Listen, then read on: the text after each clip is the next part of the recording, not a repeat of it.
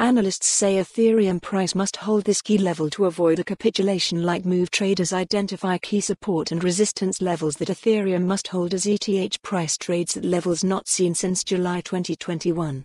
Altcoin Watch The crypto market experienced another day of pain on May 12 as the fallout from the Terra's Luna and UST failure continues to ripple across the ecosystem. While the coverage for UST and its impact on Bitcoin, BTC, have been extensively covered over the past few days, the pullback has also had a significant impact on the price of Ether, ETH, as traders hastily exited the market.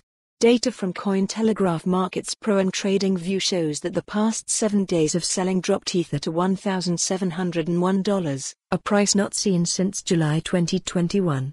Here's a look at what several analysts are saying about the outlook for Ethereum and what support and resistance levels to keep an eye on.